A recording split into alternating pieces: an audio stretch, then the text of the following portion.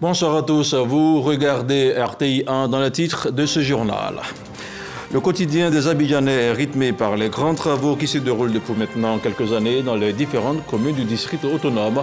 Il s'agit à terme de faciliter le déplacement des populations à travers des infrastructures de qualité, des chantiers qui ne sont pas sans conséquences pour les populations. Le ministre des Infrastructures a fait le point. La rentrée officielle des classes est prévue pour le lundi 9 septembre prochain. Comme à l'accoutumée, les parents sont invités à procéder à l'inscription de leurs enfants au préscolaire une semaine à l'avance.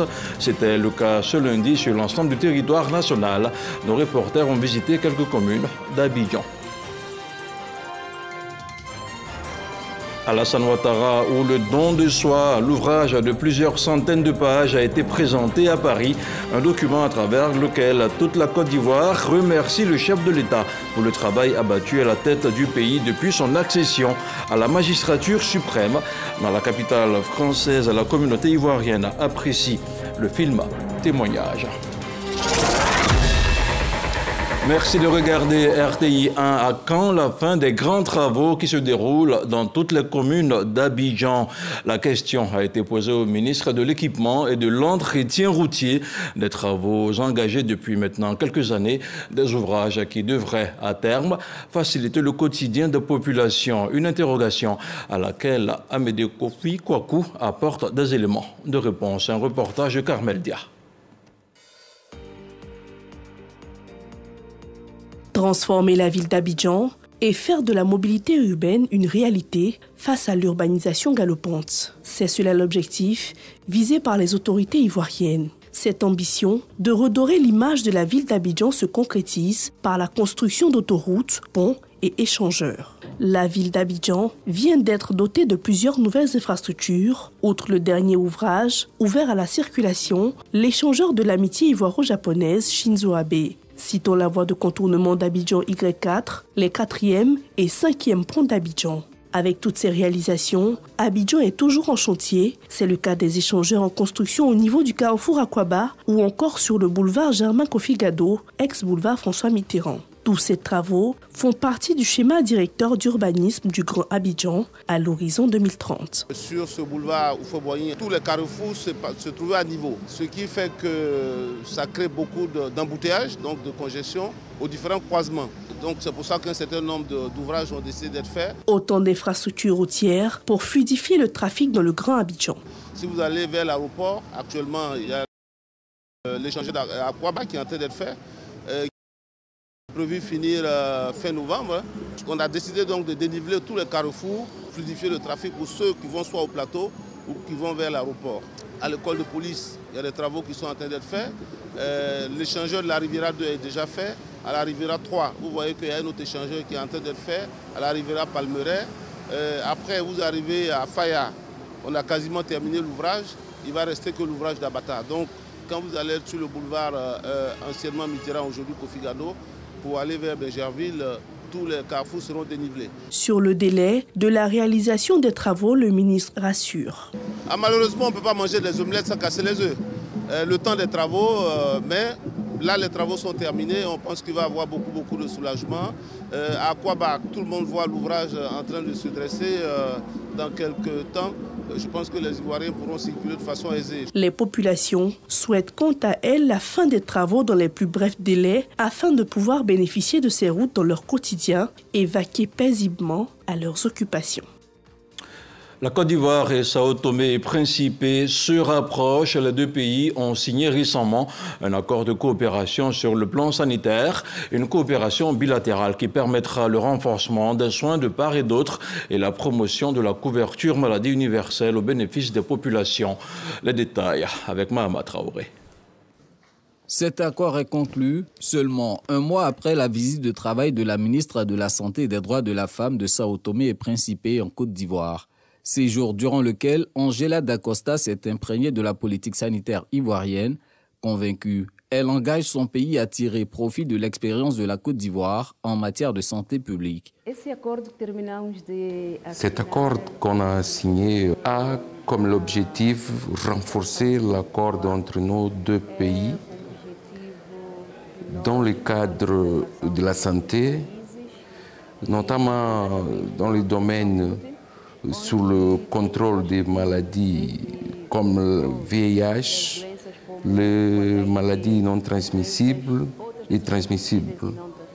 Aussi la formation, la gestion hospitalière, la recherche scientifique. Pierre Demba, ministre ivoirien de la Santé, se réjouit de cette coopération sud-sud. Je pense que c'est quelque chose qui est attendu parce que de plus en plus, euh, nos pays qui travaillent ensemble, euh, puisque la maladie ne connaît pas de frontières, ont besoin d'unir leurs forces pour pouvoir donc aller plus loin et progresser vite vers euh, une santé sous-régionale encore beaucoup plus excellente et pour le bien-être de nos populations.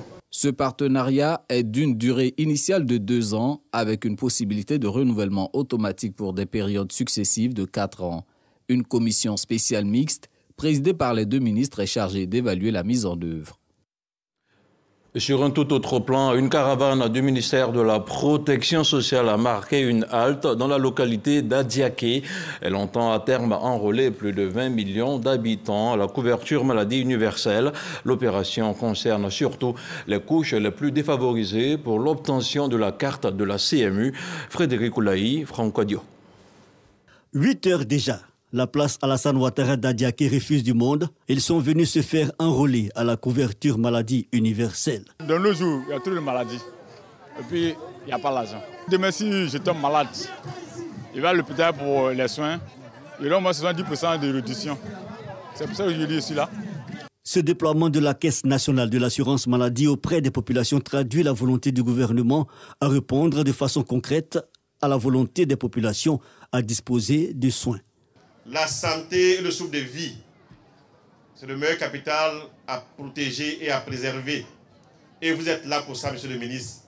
Aider nos populations à se soigner pour bénéficier des soins avec des coûts qui ne soient pas au-delà de leurs possibilités.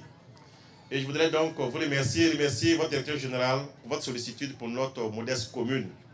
Avec ce nouveau système, les cartes CMU sont délivrées en seulement 10 minutes. Pour renforcer ces mesures, L'autorité de tutelle, Adama Kamara, lance un appel à financement en vue de disposer de véhicules mobiles d'enrôlement.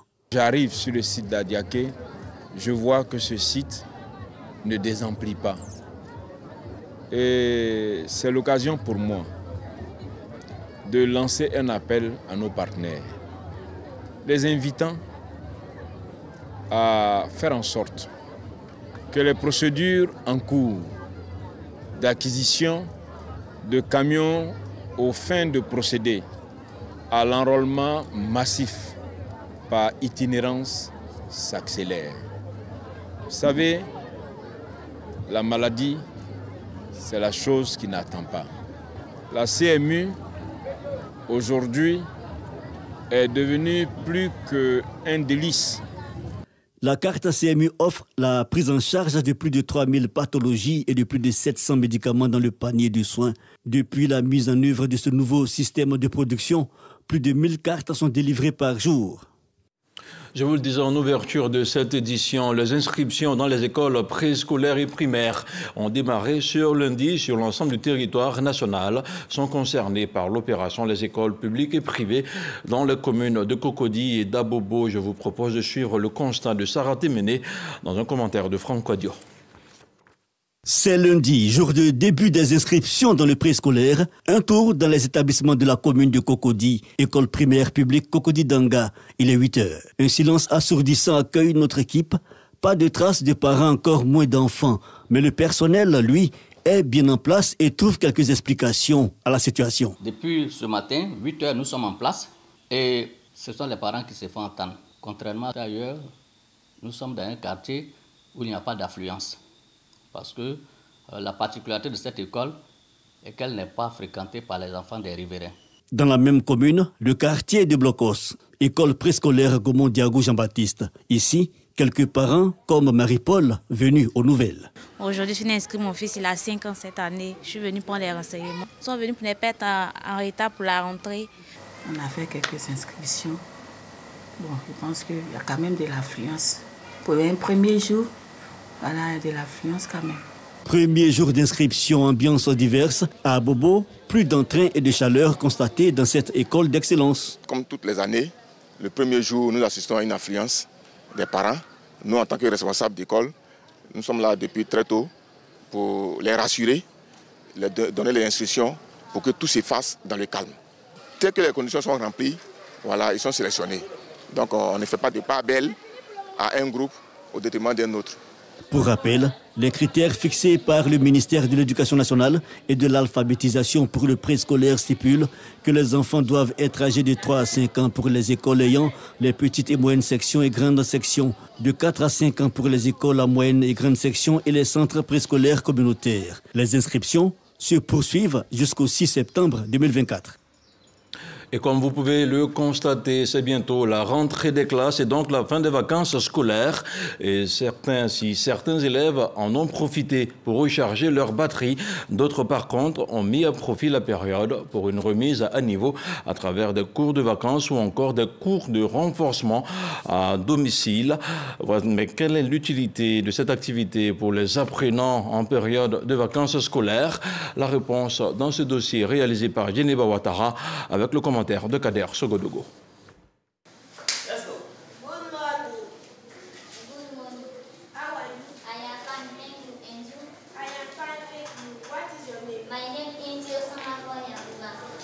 Des échanges en anglais dans une salle de classe. Ces enfants sont des élèves qui vont aborder la classe du 6e à la rentrée scolaire prochaine. Ils ont choisi de suivre des cours en lieu et place d'autres activités de vacances. Parmi ces élèves se trouve notre prof d'anglais nous apprend à compter en anglais, les jours de la semaine en anglais, les mois de l'année en anglais et les salutations en anglais. Comme Chairman, Roxane et Mohamed respectivement, en quatrième et troisième, suivent des cours de vacances dans un établissement de Boaké. J'ai choisi de venir faire les cours de vacances parce que pour moi, les cours de vacances nous donnent un aperçu sur les cours que nous allons voir en classe. Depuis sixième, je fais les cours de vacances et ça m'apporte beaucoup en classe.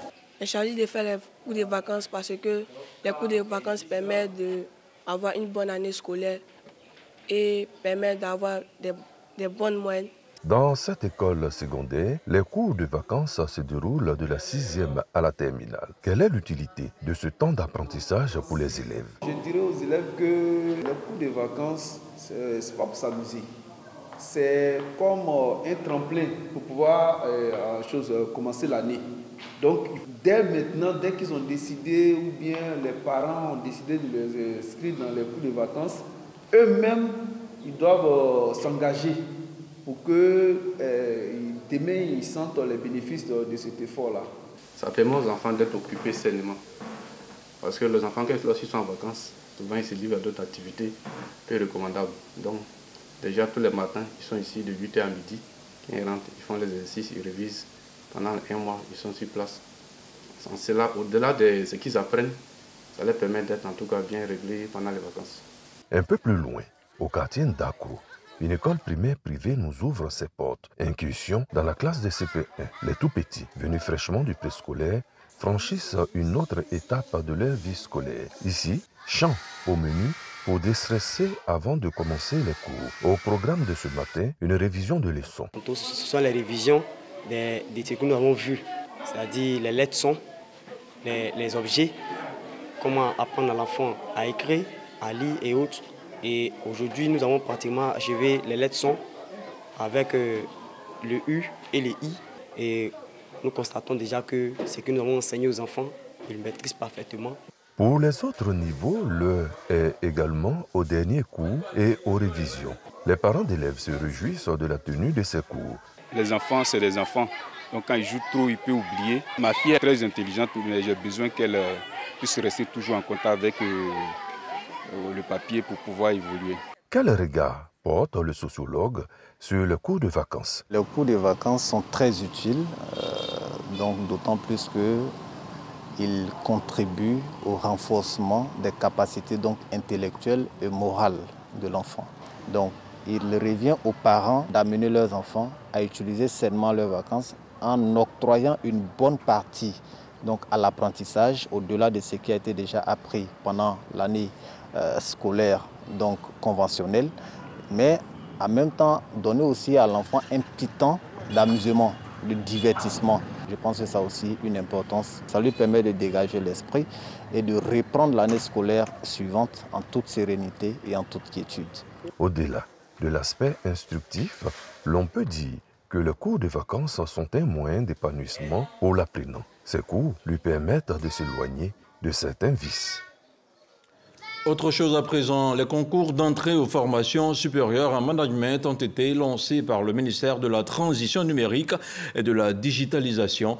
Une huitaine de pays prennent part aux examens qui permettront aux différents candidats de faire leur entrée à l'école multinationale supérieure des postes d'Abidjan. Les précisions d'Éric Goré.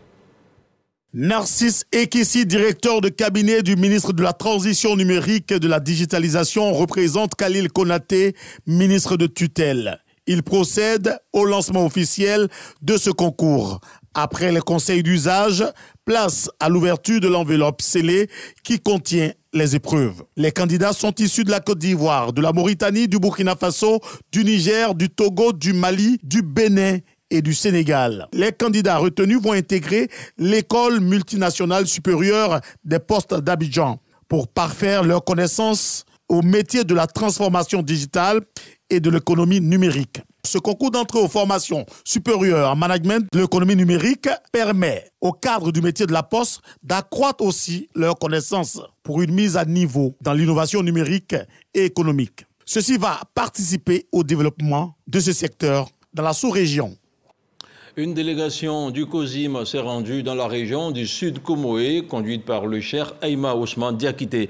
Elle a rencontré le président du conseil régional avec le docteur Eugène Aka Awele. Les échanges ont porté sur la cohésion sociale et le développement des infrastructures. On en parle avec Didier Nguessan. Renforcer les liens entre les autorités régionales du Sud Comoé et la communauté musulmane. C'est le sens de cette visite de Cheikh Ousmane Diakité, président du Conseil supérieur des imams, des mosquées et des affaires islamiques COSIM, chez Aka président du Conseil régional du Sud Comoé. Le guide religieux a lancé un appel à la paix, à la solidarité et au respect mutuel comme des fondamentaux au développement, non sans rappeler le soutien constant d'Akawele à la communauté musulmane. La visite d'aujourd'hui, c'est une visite fraternelle. Le président Akawele est en permanence un soutien important pour la communauté musulmane. Nous sommes venus lui dire merci dans sa maison, devant ses parents nous avons profité de l'occasion pour rendre hommage aux têtes couronnées. Mais avant, ceux qui sont là aujourd'hui, à leurs ancêtres, qui ont ouvert leurs mains pour donner la générosité à tous ceux qui sont venus pour faire d'Aboisseau, de la région de Sud comme aujourd'hui, une région phare en Côte d'Ivoire. Le président du conseil régional, se félicitant de cette visite, a réaffirmé son engagement pour le dialogue et la collaboration entre toutes les communautés afin de bâtir un Sud Comoé inclusif. Nous devons nous aimer les uns les autres. C'est biblique, c'est coranique. Aimons-nous les uns les autres et cela doit se traduire, comme Félix Houphouët nous disait, non pas par de simples mots, mais par des comportements. Je suis venu m'honorer pour ce comportement. Donc, euh, dans la vie, demeurons toujours, euh, en toutes circonstances, conformes paroles de Dieu. Reconnaissance et engagement, des valeurs communes que les deux personnalités promettent de promouvoir. La Côte d'Ivoire dit merci à Ado à titre costume. Après l'étape d'Abidjan, les Ivoiriens de France ont pu découvrir l'œuvre de 300 pages, une œuvre qui rend hommage au président Alassane Ouattara. Le film témoignage salue le travail colossal abattu par le chef de l'État depuis une décennie et plus à la tête du pays. Le commentaire de Khalil Diomandé. Trois semaines seulement après sa présentation officielle en Côte d'Ivoire, ce week-end, c'était au tour des Ivoiriens de France de savourer le film Alassane Ouattara ou Le don de soi et parcourir l'ouvrage dédié à l'ensemble de ses réalisations dans le pays depuis 2011 qu'il en est le président de la République. Cadre choisi, la salle MacMahon du Méridien Étoile à Paris.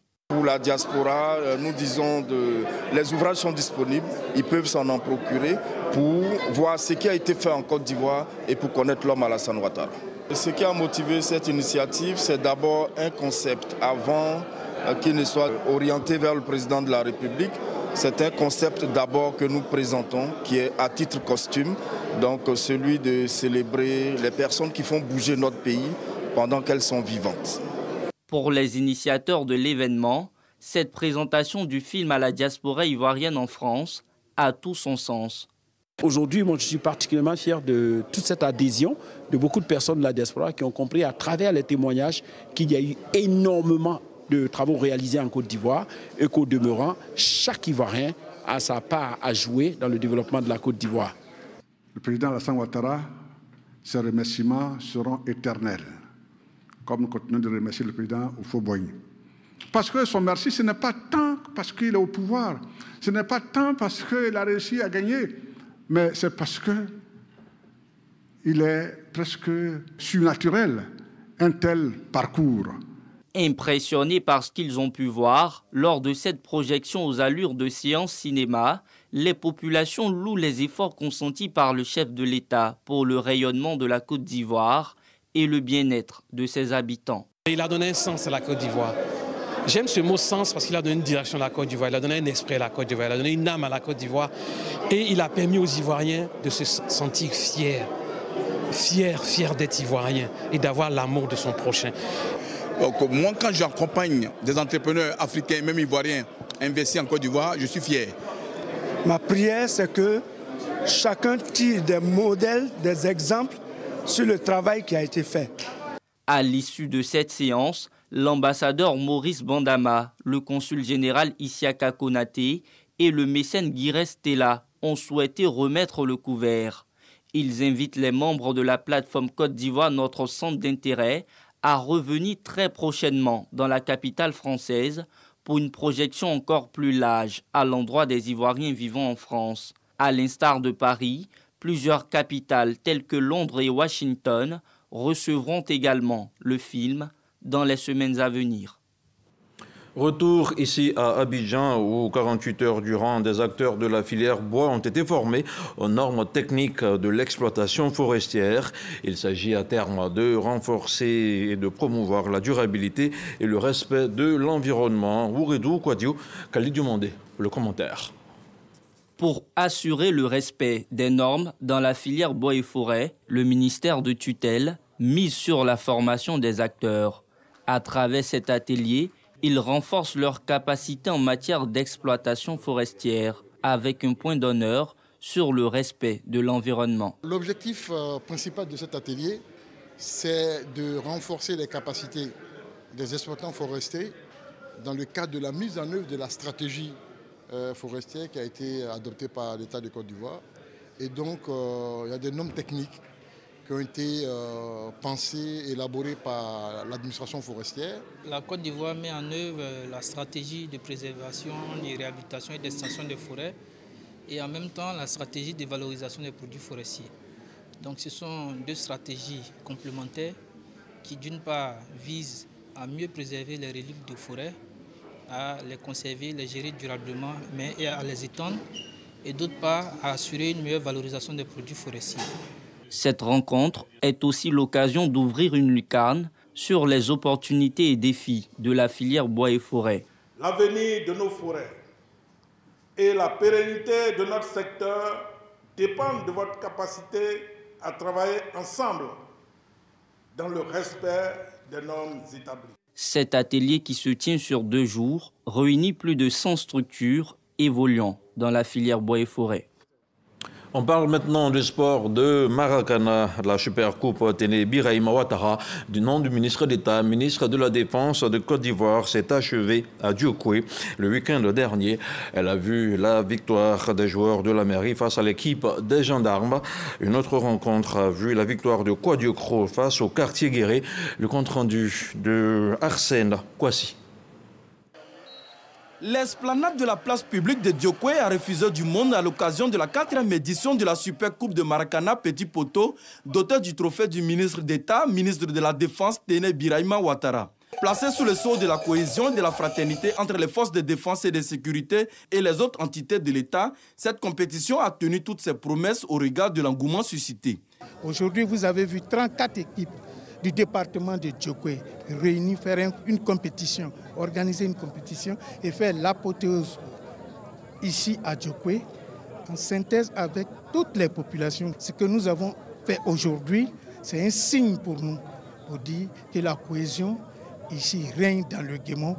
Au nom de, de Monsieur le ministre d'État, ministre de la Défense, euh, Tene Brahima Ouattara, cet événement veut prouver par là que nous voulons témoigner notre attachement à la cohésion, à la fraternité et à l'esprit de paix. La fête euh, a été une réussite. Sur un terrain arrosé par la pluie, l'équipe de la gendarmerie en blanc et celle de la mairie ont obtenu avec brio leur ticket pour la finale. Un choc qui a tourné à l'avantage des joueurs de la mairie qui l'emportent au tir au but 5-4. La cérémonie de récompense qui s'est tenue au crépuscule a été l'occasion de primer les différents acteurs. Le finaliste malheureux et le vainqueur reçoivent des mains du préfet des régions et de l'honorable Doumbia Ibrahima des trophées, des jeux de maillots, des ballons et des enveloppes. Dans l'autre grande finale de la Super Coupe du tournoi de la jeunesse, l'équipe de Quadiocro en bleu a rendez-vous sous une pluie battante avec la belle formation du quartier Guéré. 0 à 0 au thème du temps réglementaire, c'est finalement à l'épreuve fatidique des tirs au but que Quadiocro s'offre le gain de la partie 2-1 Football toujours, le trophée de la Coupe d'Afrique des Nations continue d'être présenté aux Ivoiriens de la diaspora. Après Washington, ce sont ceux de la ville de New York qui ont eu l'opportunité de toucher Dame Coupe. La cérémonie s'est déroulée en présence du ministre délégué au sport et de Madame Kandia Kamara, la présidente du Sénat. Le commentaire de Michel Digré. Washington, première étape de la présentation du trophée de la Cannes aux États-Unis d'Amérique. L'ambassadeur Ibrahim Touré, initiateur de cette cérémonie, est heureux de savourer ces instants avec la diaspora ivoirienne. Même effervescence à New York avec en prime des messages forts. On est venu vous donner la coupe que vous avez gagnée grâce à vos soutiens avec vos joueurs et vous dire merci. Le peuple était uni. C'est pour cela qu'on a remporté cette coupe. Si on est désunis, on ne pourra rien faire. Merci de profiter de cette occasion pour rendre hommage à son Excellence M. Alassane Ouattara, le bâtisseur de la Côte d'Ivoire émergente. L'étape de New York a été également l'occasion de célébrer le 64e anniversaire de la Côte d'Ivoire. Les ambassadeurs Enza Kamara et Tiemoko Moriko ont invité les Ivoiriens vivant aux États-Unis à consolider le climat de cohésion qui a prévalu tout au long de la compétition.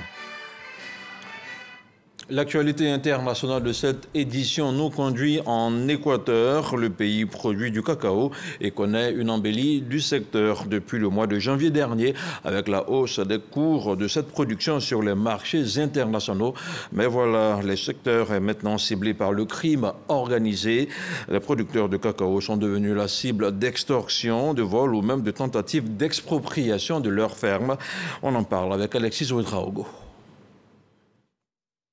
Après la Côte d'Ivoire et le Ghana, l'Équateur est le troisième pays producteur mondial de cacao, avec quelques 420 000 tonnes par an. En Équateur, le gouvernement ne régule pas les prix du cacao. La flambée des cours entre janvier et avril 2014 a permis au pays de vendre quelques 774 millions de dollars de cacao. Ses marchés principaux sont l'Indonésie, la Malaisie, les États-Unis, les Pays-Bas et la Belgique. Mais ce boom est assombri par la violence liée au narcotrafic et aux gangs.